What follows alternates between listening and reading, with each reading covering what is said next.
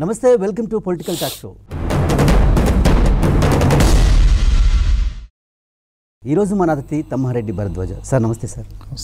Sir జీవితంలో రాజకీయ జీవితం కావచ్చు సినిమా జీవితం కావచ్చు కొన్ని బాధాకరమైన సంఘటనలు కావచ్చు కొన్ని ఇబ్బందికరమైన పరి పరిస్థితులు పరిణామాలు కూడా ఉంటాయి ఉత్పన్నం అవుతుంటాయి. సో వాటిని చూపించే ప్రయత్నం చేయరు చేయబో చేయలేరు అన్న ఒక చర్చ కూడా జరుగుతూ ఉంది కదా సార్? సరే ఇప్పుడు నేను డాక్టర్ వేషం వేసి ఏదో చేస్తే డాక్టర్లను అన్యాయం చేశారంటారు.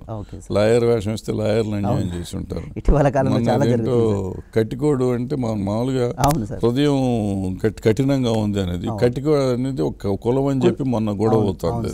వాళ్ళు వచ్చి నాకు ఒక లెటర్ ఇచ్చారు. సో ఏది ఏంటో తెలియదు. ఏం మాట్లాడినా తప్పుగా ఉండే రోజుల్లో ఒక నాయకుడు పాపులర్ మోస్ట్ పాపులర్ నాయకులు ని గురించి మనం నెగిటివ్ తీస్తే ఎవరు చూస జనం యాక్సెప్ట్ చేయరు.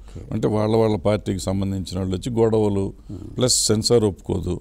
సాధ్యమైనంత వరకు దూరంగా ఉంటాం అనమాట అండ్ పాజిటివ్గా చూపించినంత వరకు అట్లీస్ట్ వాళ్ళ ఫ్యాన్స్ అన్న చూస్తారు కదా వాళ్ళకి సంబంధించిన వాళ్ళన్న చూస్తారు కదా అని ఒక ఆశ ఉంటాం. అంటే ఇప్పుడు పొలిటికల్ పార్టీస్ ఇవన్నీ స్ట్రాంగ్ పార్టీస్. సో మా పార్టీ వాళ్ళు చూసినా చాలు అనే ఉద్దేశం ఉత్తల వాళ్ళకి ఉంటుంది వాళ్ళకి మా పార్టీ వాళ్ళు చూస్తే చాలు. సార్ ఇక ఆంధ్రప్రదేశ్ రాజకీయాలకు సంబంధించి సార్ ఎన్నికలకు మరో రెండు మూడు నెలలు అంటే February last ending March first వీక్లో నోటిఫికేషన్ షెడ్యూల్ రావచ్చు. సో ఈ నేపథ్యంలో అక్కడ రాజకీయాలు కొంత హాట్ హాట్గా కనిపిస్తున్నాయి సార్. మనం చూస్తాం తెలుగుదేశం పార్టీ ఓవైపు ధర్మ పోరాట దీక్షల పేరుతో ప్రజల్లోకి వెళ్తుంది. ఇటు వైఎస్ జగన్ పాదయాత్ర దాదాపు మూడు వందల ముప్పై రోజులు పాదయాత్ర చేశారు. తొమ్మిదో తారీఖు అది ముగించబోతున్నారు. సో ఇటు ప్రధానంగా జనసేన పార్టీ. జనసేన కూడా ప్రజల్లోకి వెళ్తుంది. గత మూడు నాలుగు రోజులుగా భేటీలు అంటే వివిధ జిల్లాల ప్రతినిధులతో భేటీ అవుతూ ముందుకెళ్ళబోతున్నారు. సో ఈ పొత్తుల అంశం తెరపైకి వచ్చినప్పుడు చంద్రబాబు నాయుడు మొన్న చేసిన కామెంట్స్ అన్నవి కొంత రాజకీయాల్లో కొత్త అంటే పొత్తులకు సంబంధించిన చర్చ తెరపైకి వచ్చింది సార్. అంటే పవన్ కళ్యాణ్ జగన్ మోదీ కేసీఆర్ పైన పోరాటానికి మాతో కలిసి పనిచేయాలి పోరాటం చేయాలని చెప్పేసి ఆయన చేసిన తర్వాత సో పవన్ కళ్యాణ్ క్లారిటీ ఇచ్చారు. నేను ఎవరితో పోటీ పక్షాలతో కలిసి మాత్రమే పోటీ చేస్తున్నాను. నూట డెబ్బై ఐదు స్థానాల్లో పోటీ చేస్తాను. సుస్థిరత గతంలో రెండు వేల పద్నాలుగు ఎన్నికల్లో పోటీ చేయడానికి ఒక సుస్థిరత కోసం చేశాను. ఒక సమతుల్యత పాటించేందుకే నేను ముందుకు వచ్చానని చెప్పేసి చెప్తూ వెళ్ళడం జరిగింది. సో దీన్ని ఎట్లా చూడాలి సార్? అంటే పవన్ కళ్యాణ్ చాలా కీలకమైన రోల్ ప్లే చేయబోతున్నారు రెండు వేల పంతొమ్మిది ఎన్నికల్లో అన్న ఒక చర్చ జరుగుతోంది సార్. హండ్రెడ్ పర్సెంట్ కీలకమైన రోల్ ఉంటుంది పవన్ కళ్యాణ్ ఎందుకంటే మీరు తీసుకుంటే టూ థౌజండ్ ఫోర్టీన్లో కూడా కీలకమైన రోల్ ఉంది పవన్ కళ్యాణ్ ఎంత పర్సంటేజ్ వచ్చిందని వదిలిపెడితే Telugudesam గెలవటానికి hundred percent Pawan Kalyan interfere అయినాకే గెలుపు వచ్చింది. అంతకు ముందు వరకు. వేవ్ లేదు అసలు. అసలు సర్వేలు ఇప్పుడు కూడా వేవ్ కాదు. చాలా తక్కువ ఓట్లతో గెలిచిన సీట్లన్నీ మరి ఇటు నుంచి వచ్చిన ఈ ఈస్ట్ వెస్ట్ గోదావరి యాక్చువల్గా. స్వీప్ అనుకున్నది. వీళ్ళు స్వీప్ చేశారు. వైఎస్ఆర్సీపీ స్వీప్ అనుకుంది వీళ్ళు స్వీప్ చేశారు. సో అది కేవలం డెఫినెట్గా ఇతను తేడా వచ్చింది అది కూడా మీరు ఎక్కువ ఓట్లతో గెలిచినవి కాదు ఐదు వేలు నాలుగు వేలు.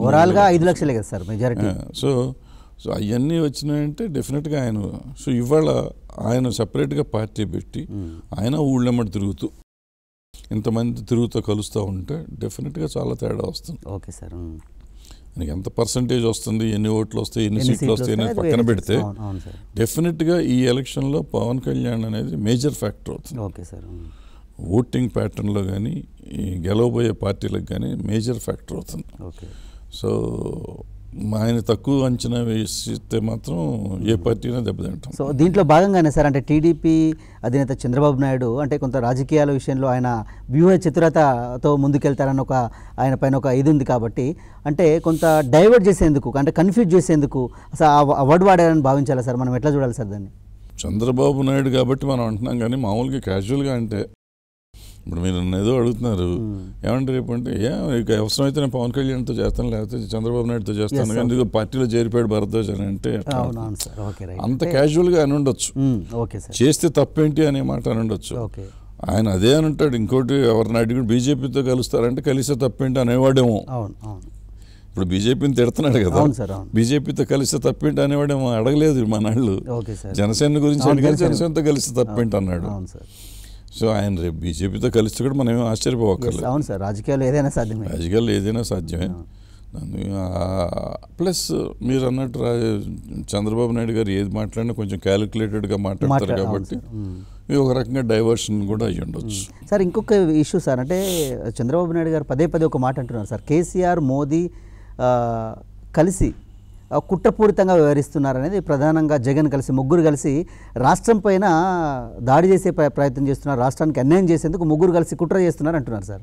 సో దీన్ని మనం ఎట్లా అర్థం చేసుకోవాలి సార్? అంటే తన విభజన చట్టంలో ఇచ్చినటువంటి హామీల్ని సాధించాలని టీడీపీ పార్టీ ఈరోజు ప్రజలకు ఇంకో రకంగా ప్రచారం చేసే క్రమంలో భాగంగానే వ్యాఖ్య చేస్తున్నారని భావించాలా? మనం ఎట్లా చూడాలి సార్ దీన్ని?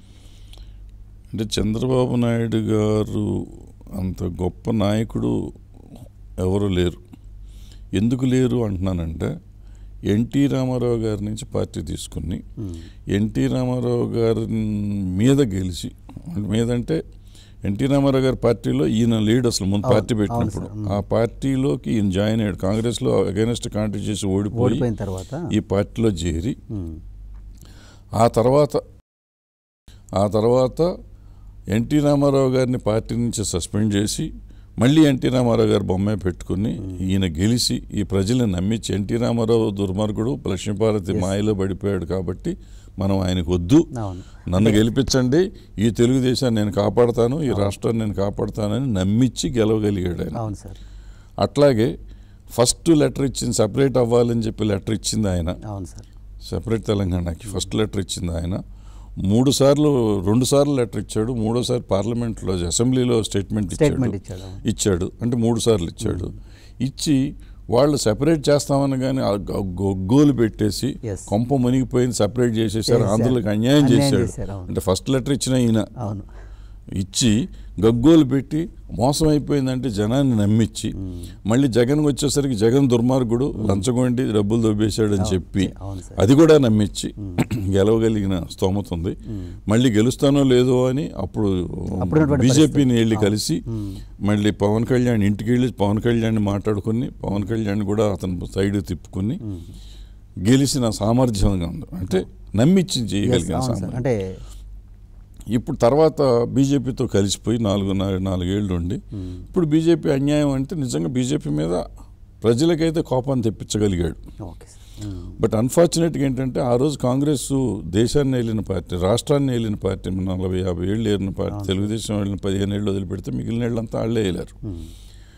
ఇక్కడ బీజేపీ ఎప్పుడు ఇక్కడ స్ట్రాంగ్ ఎప్పుడూ లేదు. జీరో పర్సెంట్ వాళ్ళు. వాళ్ళని గురించి మనం ఎక్కువసేపు మాట్లాడటం లేదు. బట్ మోడీ వేవ్ వచ్చింది కాబట్టి పోయిన టూ థౌజండ్ ఫోర్టీన్లో వరకు కొంచెం ఉండింది అప్పట్లో అతుల్ బిహారీ వాజ్పేయి గారు ఉన్న వచ్చినప్పుడు ఆయన వేవ్ కొంత ఉండింది కాబట్టి ఓ టూ త్రీ పర్సెంట్ వాళ్ళకి ఓట్లు వచ్చినాయి. యాడ్ అయి ఉంటుంది అప్పుడు టీడీపీ కూడా. ఇప్పుడు మోడీ గారి మీద వ్యతిరేకత ఉంది కాబట్టి డెఫినెట్గా సున్నా వేయడం వాళ్ళని ఎంత మాట్లాడినా వేస్ట్. ఇప్పుడు ఆయన పోరాడాల్సింది జగన్తో కానీ పవన్ కళ్యాణ్తో అందుకే ఇప్పుడు జగన్ మీద మళ్ళీ జగన్ మీద కంటే కూడా పవన్ కళ్యాణ్ ఎందుకంటే పవన్ కళ్యాణ్ మేజర్ ఫ్యాక్టర్ అవుతున్నాడు. అవును సార్. అంటే ఈయన ఓట్లు ఈయన ఓట్లు బయటికి వెళ్ళిపోవాలి. అవును. జగన్ ఓట్లు ఈయనకి వస్తాయి అనేది పెద్ద ఆశ లేదు. ఈయన ఓట్లు బయటికి వెళ్ళిపోయినాయి. ఏదంటే పవన్ కళ్యాణ్ గారి దగ్గర నుంచి ఈయన తెచ్చుకున్నాడో లాస్ట్ టూ థౌజండ్ ఫోర్టీన్లో 14 లో. అవి బయటికి వెళ్ళకుండా ఉండాలంటే జగన్ పవన్ కళ్యాణ్ మీద పోరాడాలి. పవన్ కళ్యాణ్ బీజేపీతో కలిశాడని చెప్పాలి. అవును. చెప్తే కానీ రాదు. ఎస్ సో సేమ్ టాక్టిక్స్ ఏదైతే కేసీఆర్ గారు మన చంద్రబాబు నాయుడిని తిట్టి తెలంగాణలో సర్వైవ్ అయ్యారో ఇదే టాక్టిక్స్ ఆయన జగన్ పవన్ కళ్యాణ్ మీద వాడుతున్నాడు.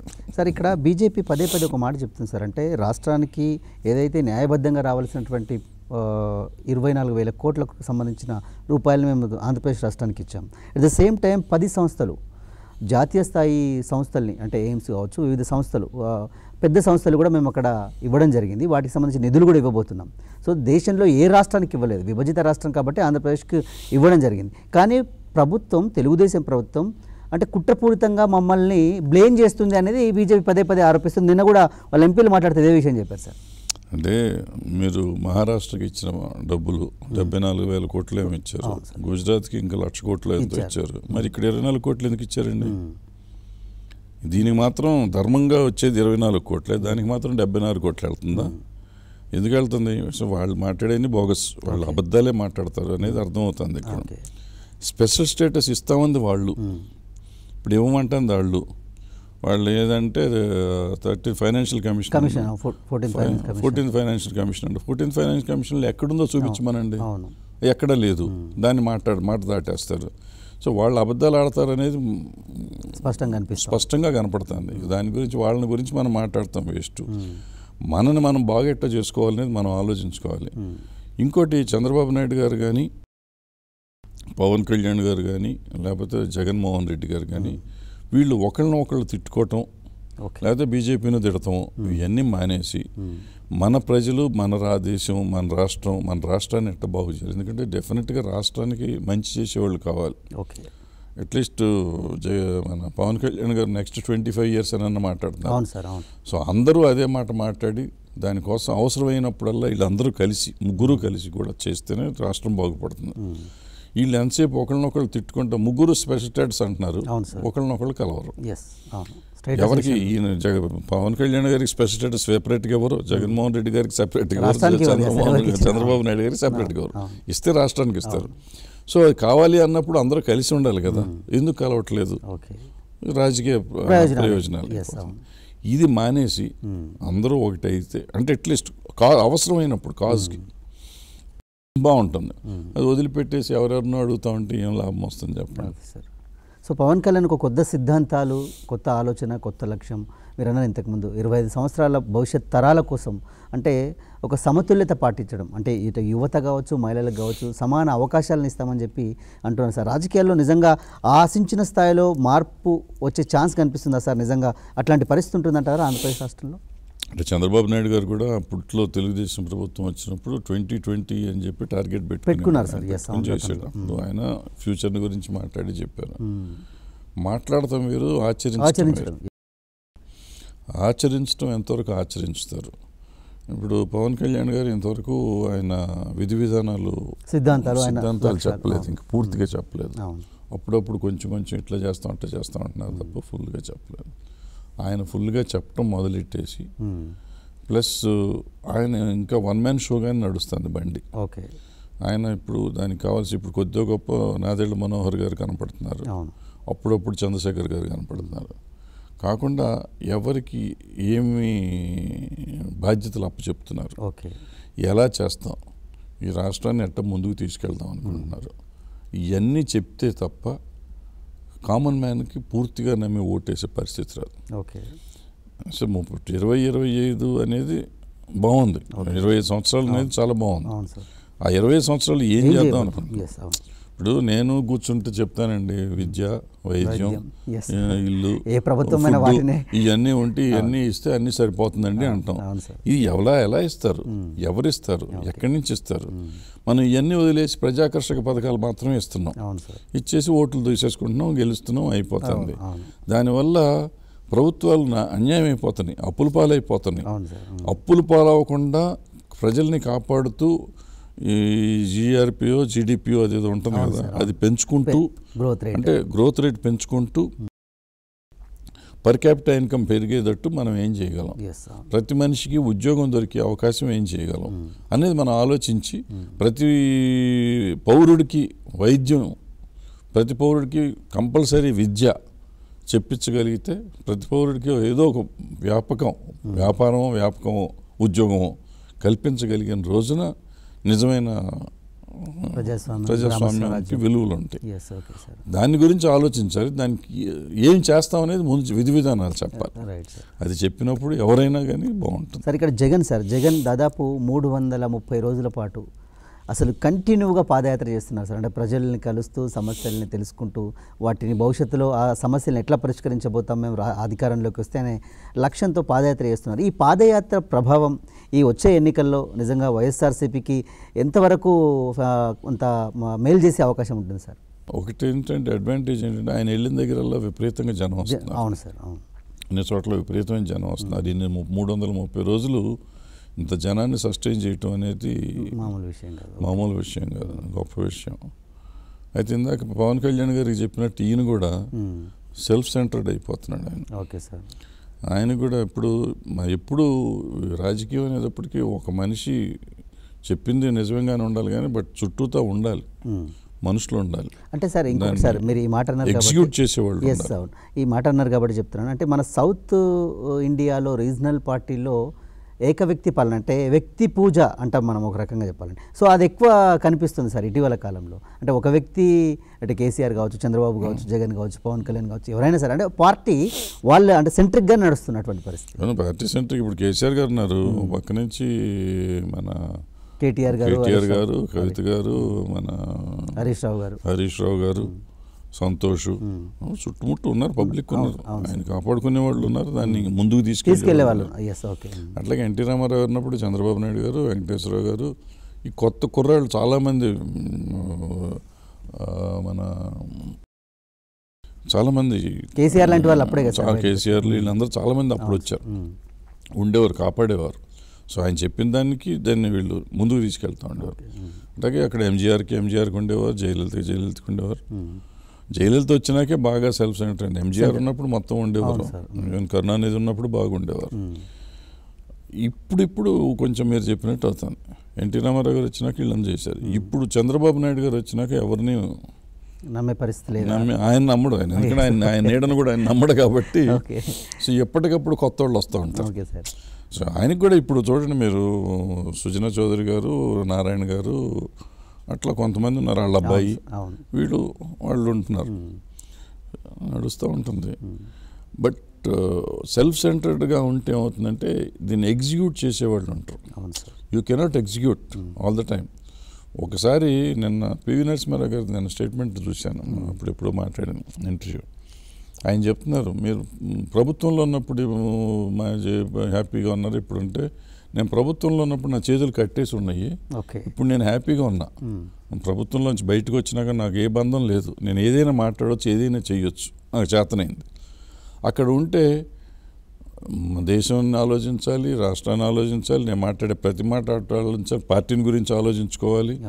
ఇన్ని ఆలోచించాలి. ఇక్కడ నేనేం ఆలోచించక్కర్లా. నేను చెప్పదలుచుకొని చెప్పుకోవచ్చు. సో వీళ్ళు అందులోకి వెళ్ళేటప్పుడు ఇప్పుడు ఇవాళ జగన్ గారు మాట్లాడింది కానీ వాళ్ళ పవన్ కళ్యాణ్ గారు మాట్లాడింది కానీ చంద్రబాబు నాయుడు గారు మాట్లాడింది కానీ రేపు ప్రభుత్వంలోకి వచ్చినాక వాళ్ళ చేతుల్లో కొన్ని ఉండవు ఎస్ అవును సార్. మనం అంటాం వాళ్ళు వచ్చి ప్రభుత్వంలోకి రాకముందు ఇన్ని అన్నారు ఏం చేయలేదని. చేయలేరు కొన్ని అవును సార్. జగన్ పాపం ఏ మాట జగన్ లాస్ట్ ఎలక్షన్లో చెప్పాడు ఈ రైతులకు రుణమాఫీ అంటే జరగదు వద్దు. అని చెప్పాడు అని ఓడిపోయాడు. సో కొన్ని నిజాలు చెప్తే ఇబ్బందులు కూడా ఉంటా ఉంటాయి అట్లా. ఆంధ్రప్రదేశ్ రాష్ట్రం దేశంలోనే నెంబర్ వన్ రాష్ట్రంగా ఉంది. తెలంగాణ మాత్రం వెనుకబడిపోయిందంటూ ఒక కామెంట్ చేశారు చంద్రబాబు నాయుడు. సో నిజంగా ఈ గ్రోత్ రేట్ అనేది ఏ రేషియో ప్రకారం లెక్కిస్తారనే దానిపైన ఒక అంటే దానికి ఒక ఇది లేదు సార్ ఒక ఇది పరిణామం లేదు. సో దాన్ని ఎట్లా చూడాలి సార్ మనం? నాకు చిన్నప్పుడు ఇప్పుడు ఉందో లేదో తెలియదు బ్రాకెట్ అని ఒకటి ఆడేవారు మీరు పాన్ డబ్బాల్లో ఉండి మా హైదరాబాద్ ఎక్కడ పాన్ డబ్బాలోకి వెళ్ళినా కానీ నెంబర్ గేమ్. అవును సార్. పైసలు బెట్లు కడతా ఉండేవారు. చాలా మంది అన్యాయం అయిపోయి చచ్చిపోయారు సూసైడ్లు చేసుకునేవారు. వాడెవడో బొంబాయిలో ఉండి నెంబర్లు వేస్తూ ఉంటాడు అంట వేస్తూ ఉంటే వీళ్ళు వెళ్ళి దాని మీద ఇవాళ లాస్ట్ నెంబర్లు ఏదో ఉంటుంది మట్కా. ఆ నెంబర్ల మీద డబ్బులు కట్టేసి చాలామంది పది రూపాయలు వంద రూపాయలు కట్టి ఎంత ఉంటే అంత కట్టేసి గెలిచి గెలిచినోడు గెలిచాడు ఓడిపోయినాడు ఓడిపోయాడు. ఇప్పుడు నాకు తెలిసి గ్రోత్ రేట్ ఈ బీజేపీ గవర్నమెంట్ వచ్చినాక మాత్రం గ్రోత్ రేట్ కూడా అట్లాగే ఉంది.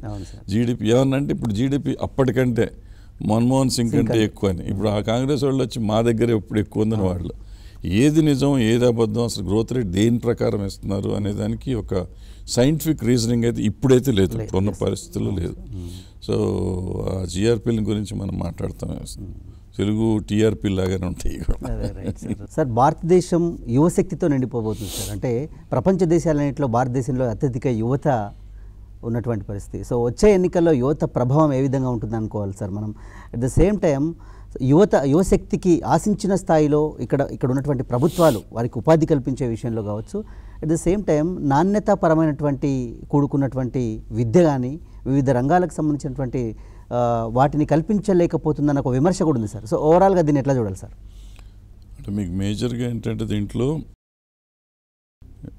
యూత్ రాబోయే యూత్ ఏదైతే ఉందో రేపు ఎలక్షన్కి పద్దెనిమిది కోట్లు ఏదో వస్తాయి ఇంకా ఓట్లు అంటున్నారు. మీరు చెప్పే ట్వంటీ ట్వంటీ ఫైవ్కి ఇంకా ఫుల్గా యూత్ఫుల్ అవుతుంది అంటున్నాను బట్ అది అయ్యే టైంకి మన దగ్గర నుంచి యూత్ ఎప్పటికప్పుడు వెళ్ళిపోతున్నారు. ఆలోచించాల్సిన విషయం. పేరుకి పద్దెనిమిది కోట్లు రాబోతుంది అంటున్నాం కానీ ఓటింగ్ వేసే రోజు పద్దెనిమిది కోట్లు కోటి మంది మిగులుతారేమో పదిహేడు కోట్లు వెళ్ళిపోవచ్చు. అవును సార్. రెగ్యులర్గా పాస్ అయినాడు పాస్ అయినట్టు బయటికి పోతున్నారు. అవును. వచ్చినోడు వచ్చినట్టు పోతున్నారు. లేదంటే ఓట్లు వేసే టైం ఆ డిగ్రీ అయ్యేదాకంటే ట్వంటీ ఫోర్ ఇయర్స్ ఎయిటీన్ ఇయర్స్కి ఓటు వస్తుంది కాబట్టి ట్వంటీ ఫోర్ ఇయర్స్ అంటే సిక్స్ ఇయర్స్ ఫస్ట్ ఒక ఎలక్షన్ దాకా ఉండొచ్చు. సో వీళ్ళందరూ ఎక్కడికి వెళ్ళిపోతున్నారు. ఒకటి. రెండోది politics nowadays it is a business. So యూత్కి వచ్చి బిజినెస్గానే వస్తున్నారు. ఇంతకుముందు వాడు పాపం వచ్చి కార్యకర్తగా వచ్చేవాడు. అవును సార్. ఇప్పుడు కార్యకర్త లేరు. ప్రతివాడు నాయకుడే. మీరు ఎవరి జేబులో చూసినా ఒక విజిటింగ్ కార్డు ఉంటుంది. నేను పలానా పార్టీకి ఏదో వింగ్ నాయకుడిని అంటాడు లేకపోతే గల్లీ నాయకుడిని అని చెప్పి ఒక కార్డు ఒకటి వేసుకుని వాడు జెండా పెట్టుకుని అక్కడ దాదాగిరి చేస్తూ ఉంటాడు. సో ఈ బిజినెస్ అయిపోయినాక ఈ- ఇంకొకటి ఇంకొక బ్యాచ్ ఉన్నారు. వాళ్ళు ఓన్లీ ఫేస్బుక్లోను ట్విట్టర్లోను లేదంటే. సోషల్ మీడియాలో మాత్రమే అల్లరి చేస్తూ ఉంటారు. దేశాన్ని గురించి ఎక్కువ మాట్లాడుతుంటారు బట్ వాళ్ళు ఈ కులాలు మతాలు మొత్తం చెడిపోయింది ఈ ఒకటి బాగా డైవర్ట్ అయిపోయారు. యూత్ బాగుండాల్సిన దేశం నా ఉద్దేశంలో చెడిపోతుందేమని భయం పట్టుకుంది నాకైతే. నా పర్సనల్గా చాలా భయంగా ఉంది. ఎందుకంటే సోషల్ మీడియాలో వాళ్ళు మాట్లాడుతున్న వాడుతున్న భాష కానీ వాళ్ళు చేస్తున్న పనులు కానీ అది కాకుండా ఇవాళ దేశంలో ఎక్కడ చూసినా కానీ మీరు సోషల్ మీడియాలోనే కనపడుతున్నాయి. డైరెక్ట్గా చంపేస్తున్నారు. దళితులను చంపేస్తున్నారు. ముస్లిమ్స్ని చంపేస్తున్నారు. రకరకాలుగా పబ్లిక్గా చంపుతున్నారు. గోవులు అని చెప్పి ఇంకో మామూలు మామూలు వాళ్ళని చంపేస్తున్నారు సపోర్ట్ చేసిన వాళ్ళని చంపేస్తున్నారు. ఇవన్నీ ఈ పరిస్థితుల్లో నుంచి బయటపడాలంటే యువతలో మార్పు రావాలి. మార్పు దరిద్రపు మార్పు వచ్చింది ఈ మధ్యకాలంలో చెడిపోయారు ఒక రకంగా చెప్ప చెడిపోయారంటే మానవత్వం లేకుండా పోతున్నారు. మానవత్వం కావాల్సిన సమాజం రావాలి. అది ఎప్పుడు వస్తుందో రాదో తెలియదు అది రాకపోతే మాత్రం మీరు చెప్పే ట్వంటీ ట్వంటీ ఫైవ్కి ఇక్కడ మనుషులు మనుషులుగా మిగలరు. దొరికినట్టు దొరికినట్టు చంపుకోవటం తప్ప ఇంకేం ఉండదు. అది రాకూడదని నేనైతే కోరుకుంటున్నా. మంచి జరగాలని కోరుకుంటున్నా. మంచి జరుగుతుందని ఆశిస్తున్నా. సో యువత అట్లీస్ట్ ఇప్పటికన్నా కళ్ళు తెరిచి ఇటువంటి సమాజం రాకుండా మంచి సమాజం వస్తానికి వీళ్ళందరూ దోహదపడాలని మనం కోరుకోవటం తప్ప ఏం చేయలేం. Yes, అవును సార్. కోరుకోండి. సార్ మీరు అన్నారు సార్ ఇంతకుముందు చాలా చాలా ముఖ్యమైన అంటే చాలా ఇంపార్టెంట్ విషయం సార్ అది. సో మన దేశంలో ఇక్కడ చదువుకొని ఇక్కడ విజ్ఞానవంతులుగా తయారయ్యి ఒక మేధో సంపత్తిని ఏర్పరచుకున్నటువంటి విద్యార్థులు యువత ఇతర దేశాలకు వలస వెళ్ళిపోతున్నారంటే కారణం దీన్ని ప్రభుత్వ వైఫల్యంగా భావించాలి. అంటే వారికి వారు సాధించిన దాంట్లో వారు దేంట్లో అయితే నిష్ణాతులుగా మిగిలిపోతున్నారు నిష్ణాతులుగా ఉంటున్నారో వారికి ఆశించిన స్థాయిలో ఉపాధి కల్పించలేకపోతున్నారా లేకపోతే ఆయా రంగాల్లో వారికి ఆ, అవకాశాలను ఇప్పించలేకపోతున్నారన్న ఒక ఇది కూడా కనిపిస్తుంది కదా సార్. అంటే అవి లేకపోవడం వలన విదేశాలకు వెళ్తున్నారు. సో రకంగా దేశం కూడా దీనివల్ల కొంత వెనుకబడిపోయే అవకాశం చాలా నష్టపోతుంది. ఎందుకంటే ప్రతి స్టూడెంట్ని వాడు చదువుకునే దానికి మనం కంట్రిబ్యూషన్ ఉంది. అవును సార్. దేశం కంట్రిబ్యూషన్ ఉంది. మనం కట్టే ట్యాక్స్లోంచి వాళ్ళకి ఒక స్టూడెంట్ ఓ లక్ష రూపాయలు కట్టి చదువుకున్నాను అనుకుంటున్నాడు అతను. ఆ లక్ష రూపాయల వెనకాల మనం పది లక్షలు మనం ప్ర- ప్రజాధనం ఖర్చు పెడుతున్నాం అతను సార్. బట్ ఆ పది లక్షలు తీసుకుని అతను ఎక్కడికో వెళ్ళిపోతాడు. ఎక్కడో వెళ్ళుకుని అతను సంపాదించుకుంటాడు. మనకేం రాదు. అదే మన దేశంలో ఉండి అతను సంపాదిస్తే మళ్ళీ ట్యాక్సుల రూపంలో మెల్లిగా. మనకు వస్తుంది. ట్యాక్స్ కట్టే టైంలో ఉండడు అతను. సో ఇట్లా వెళ్ళిపోవటం వల్ల మనకి డెఫినెట్గా నష్టమే. అది మన చేతగానితనమే అయితే ఒక ఇందాక చెప్పిందంతా నెగిటివ్లో చెప్పాను నేను. పాజిటివ్ థింకింగ్ కూడా ఉంది. ట్వంటీ ట్వంటీ ఫైవ్కి కానీ ఇంకో లేకపోతే ట్వంటీ థర్టీకి కానీ భారతదేశమే నెంబర్ వన్ దేశం అయ్యే ప్రమాదం ఉందని చెప్పి కూడా చాలామంది అనుకుంటున్నారు. నిజంగా I wish that it should happen. అలాంటిది జరిగింది అనుకోండి నేను చెప్పినట్టు ఎవడో ఎక్కడికి వెళ్ళాడు. ఇదే నెంబర్ వన్ దేశం అయినప్పుడు అందరూ ఇక్కడే ఉంటారు. ఇప్పుడు ఒకప్పుడు మనకి తెలిసినప్పుడు డాలర్కి రూపాయికి తేడా ఉండేది కాదు. స్వతంత్ర భారత్ వచ్చిన కొత్తలో ఆల్మోస్ట్ రూపాయికి ఒక డాలర్ ఉండేది అనుకుంటా. ఇప్పుడు మెల్లిమెల్లిగా పోతే ఇప్పుడు డెబ్బై రూపాయలు ఎనభై రూపాయలు అయిపోయింది డెబ్బై అయింది త్వరలో ఎనభై కూడా అవుతుంది బట్ ఎప్పుడైతే మనం డెవలప్మెంట్ పెరుగుతుంది అనుకుంటున్నామో ఇప్పుడు ఏదైతే రాబోతుంది అని నేను అనుకోవచ్చు సార్. ఎక్స్పెక్ట్ చేస్తున్నారు పబ్లిక్ ఎక్స్పెక్ట్ చేస్తున్నారు నేను కూడా అనుకుంటున్నాను. అది జరిగింది అనుకోండి డెఫినెట్గా డాలర్ పడిపోతుంది. రూపాయి కంటే డాలర్ పది డాలర్లు ఇస్తే కానీ ఒక రూపాయి ఇవ్వని పరిస్థితి వస్తుంది. ఆ పరిస్థితి రావాలని కోరుకుందాం. అటువంటి సమాజం కూడా రావాలని కోరుకుందాం. అప్పుడు బట్ ప్రజల్లో మార్పు వచ్చినప్పుడే ఆ సమాజం వస్తుంది. ఈ చంపుకోటాలు నరుక్కోటాలు కులాలు మతాలు అనేది మానేస్తున్న రోజున ఇవన్నీ జరుగుతాయి. Right sir thank you very much sir ఇది వాళ్ళ political talk show.